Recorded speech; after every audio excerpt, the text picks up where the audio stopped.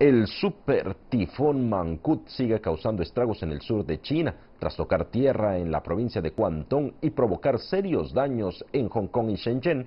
El mayor ciclón del año en el Pacífico entró en la región autónoma de la etnia Yuan de Guangxi y avanza hacia el noroeste. Las autoridades evacuaron a cerca de 250.000 personas en la ciudad de Yulin, los poderosos vientos arrancaron árboles y derribaron barreras de tráfico y contenedores. Algunos vecindarios se quedaron sin suministro de luz. La Administración Meteorológica de China aseguró que el sur de China seguirá sintiendo la fuerza de Mangkut. Se esperan aguaceros en el suroeste de China durante los próximos días.